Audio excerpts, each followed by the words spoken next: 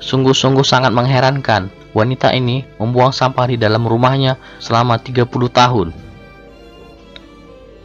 Kebersihan adalah salah satu untuk menjaga kita agar tetap sehat, tetapi orang ini malah menjadi rekor wanita terjorok.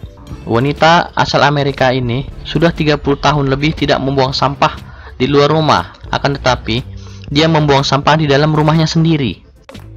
Sehingga dalam waktu tersebut, sampah selama 30 tahun sampai menumpuk hingga meninggi dan rumahnya menjadi sangat sempit. Semua bagian rumah malah dibuat menjadi tempat pembuangan sampah. Dan malah wanita ini tampak menikmati kehidupan rumahnya yang seperti itu.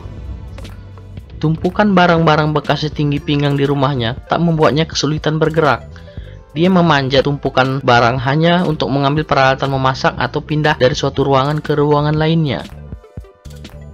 Petugas yang datang ke rumah ini pun merasa resah karena bau dari sampah tersebut sampai menembus masker mereka.